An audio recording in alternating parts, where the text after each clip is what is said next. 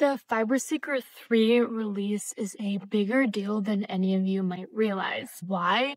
Because it makes that kind of technology accessible to the vast majority. So, what kind of technology am I talking about? I'm talking about a thing called continuous fiber reinforcement or printing. Now, what do I mean when I say continuous fiber reinforcement or CFF? I'll show you. Let's start with chopped fibers. In your filament, let's say this is a piece of raw filament, your chopped fibers exist as little pieces of whether that be carbon fiber, glass fiber, whatever. Even though we can assume in a part printed with chopped fibers that a majority of these chopped pieces follow the direction of the toolpath, printing 10 of these might give you slightly variable performance between each, making 3D printed parts like this not only harder to predict, but not really leveraging that fiber reinforcement. Continuous fiber is exactly what the name suggests. Instead of chopped fibers, you have long fibers that can fill out a whole layer and follow the toolpath path. So let's say, for example, I'm building a ring like this. With chop fibers, when I print this ring, they will exist following the tool path. Continuous fibers, I can actually reinforce with long strands of this carbon fiber or glass fiber following the exact geometry of the layer. That way, when I pull this, like one of the FibreSeeker demos, I have the strength of the filament and the strength of the fiber that's working together to make this a strong part.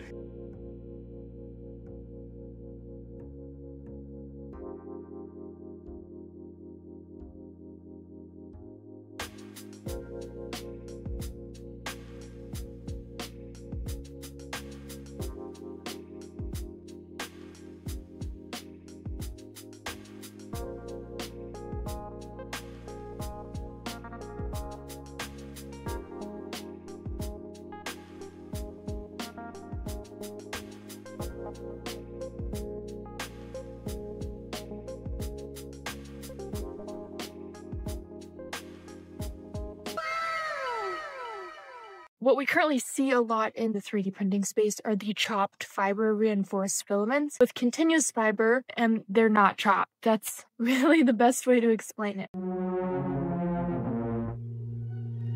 Currently, the only technology that really exists on the market for continuous fiber reinforcement is the Markforged series, particularly their X7. This printer retails new for about 69 almost $70,000. That's not including filament and not including the Eiger slicer package. So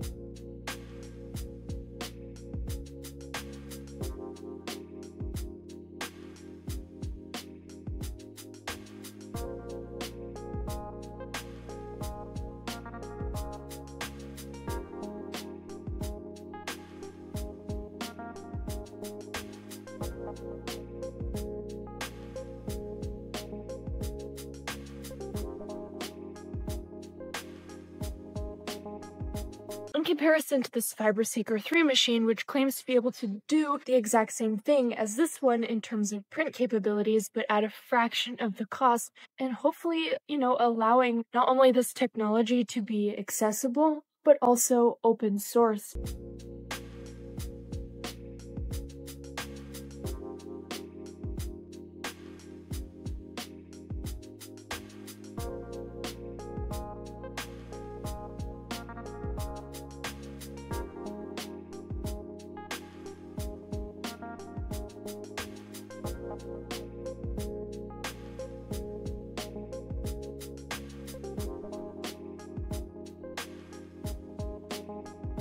Okay, so Markforged calls this CFF or continuous fiber fabrication, whereas the FibreSeeker 3 company calls this composite fiber co-extrusion or CFC. They claim the technologies are different, the premise is similar, although there is a small difference. So with the Markforged, the fiber inlays, the continuous fiber inlays come already coated with a polymer that makes them more flexible when they're being pushed through the Bowden tube and extruded, and also act as a bonding agent when melted into the part. While both printers leverage this two nozzle system, one for the base plastic and one for the fiber inlays, the FibreSeeker 3 process is slightly different. It starts with the fiber on a spool not coated in anything, and their custom extruder actually coats the fiber in a plastic as it's being printed.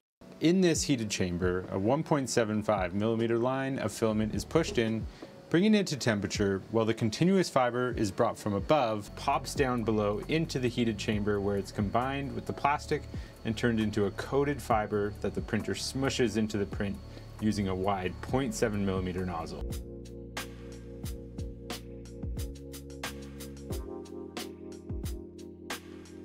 Now, I've used this machine a few times for building tensile samples, also servicing and creating that video tutorial you've seen on my channel, but I have a few gripes about this thing. Main one being the touchscreen. My Bambu has a better touchscreen than this machine. I hate to say it, but there is a significant lag between my finger press and the screen's response to the point where it almost sometimes double clicks.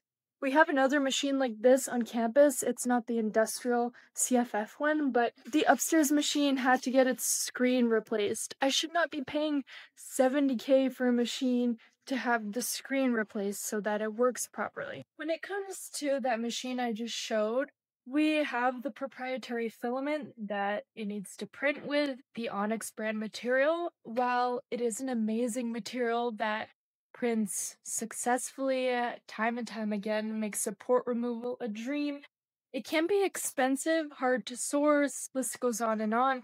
And there are some off brand filaments that are compatible with the machine, but when it comes to maintenance or service of the printer, you know, the company will ask you if you've been using the proper materials and may or may not decline maintenance or service if you have not been. Nice thing about the proprietary filaments though is that it's almost guaranteed the actual spool is dried properly once you remove it from the packaging. With our consumer grade filaments, it's not always the case. Another key difference between this industrial grade CFF machine and the FibreSeeker 3 is that the FibreSeeker 3 actually has a heated bed. This thing does not. Having a heated bed is wonderful, not only for the versatility of the kind of materials you can print with, but also it can double as a filament dehydrator or dryer. Unfortunately, that one cannot. We actually had to buy a food dehydrator for our lab to use as a filament dryer. Editing Dora here, I'd also like to add that the FibreSeeker 3 not only has a heated bed, but also has a heated chamber. In comparison to the Markforged X7 system, it does not. So that is an improvement for printing our nylons, ABSs, ASAs, etc. materials that tend to warp off of the build plate. With the FibreSeeker 3 system, it's open to more of that variety of filaments, whereas the Markforged, even though it doesn't have heated internals, prints successfully their Onyx materials that include chopped carbon fibers. Two more things I'd like to mention kind of gripes with this system. First being the camera. There is a camera in this printer up here to which you're able to remote monitor your print, but the lighting in the printer itself is so bad that you can barely see through the camera.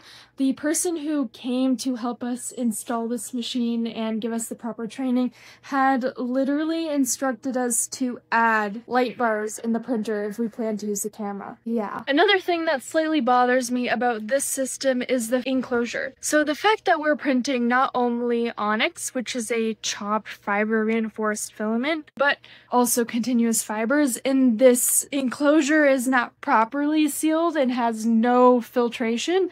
There's even this small finger hole at the bottom concerns me.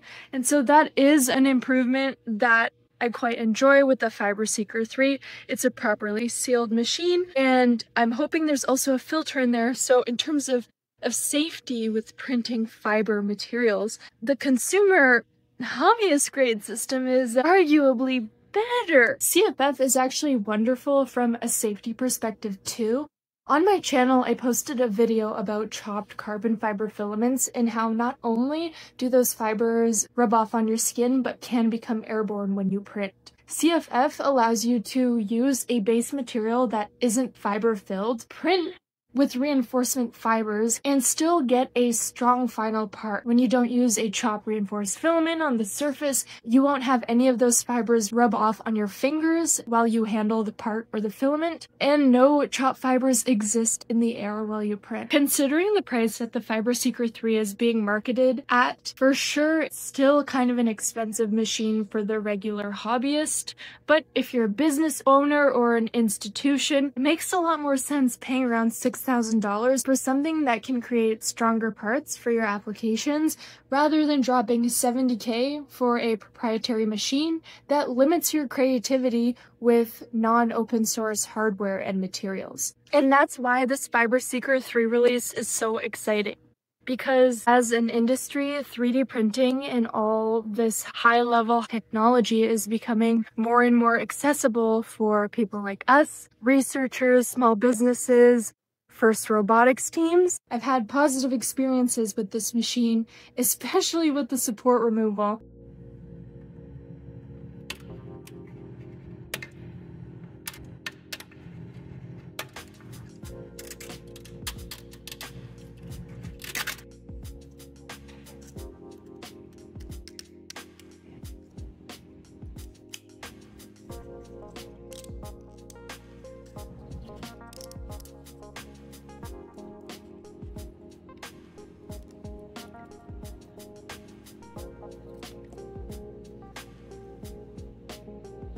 But the slicer makes it very hard to be creative with process parameters or really push the limits of 3D printing in a way that an open source slicer like Orca Slicer would allow us to do. Think about just being able to choose orientation, select raster angles, select the walls, etc. You don't really have the wonderful world of modifiers, multi-material prints, etc. with the slicer software of that machine. Another thing that I find very limiting about the Markforged Eiger software is that the output file is an encrypted file type. It's not like I can open it and read the G code like on my Prusa or my Bambu Lab. And from a hobbyist and research perspective, that really limits what I can do with my printer. What if I want to try and print multi-axis somehow on my machine or braid in some continuous fibers? On the X7, that's absolutely impossible due to the fact that I can't upload custom G code. Obviously, at a a K price point, the last thing Markforged would want is for people to be breaking their expensive systems to the point where they can blame the company. But if you think about the FibreSeeker 3, one thing I would really like to see would be the open source nature of their slicer.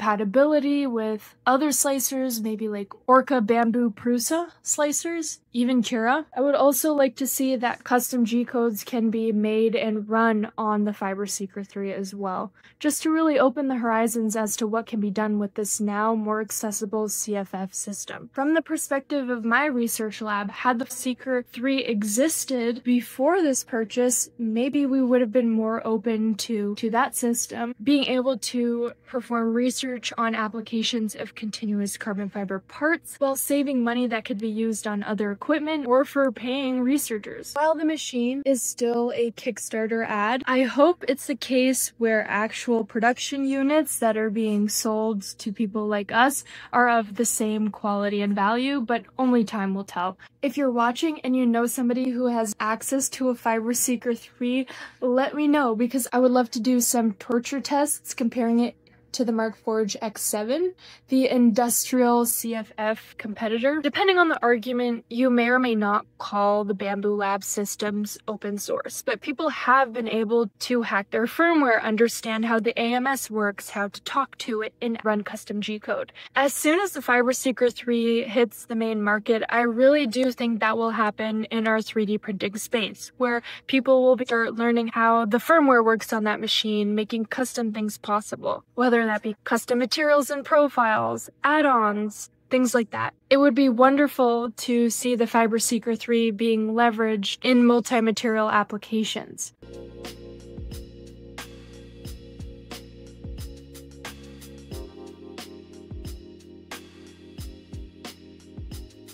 where you can have the fiber reinforcement and maybe the flex of a TPU. As somebody who in the future would like to have a project car, this machine seems like an awesome tool to be in my arsenal for repair projects related to that.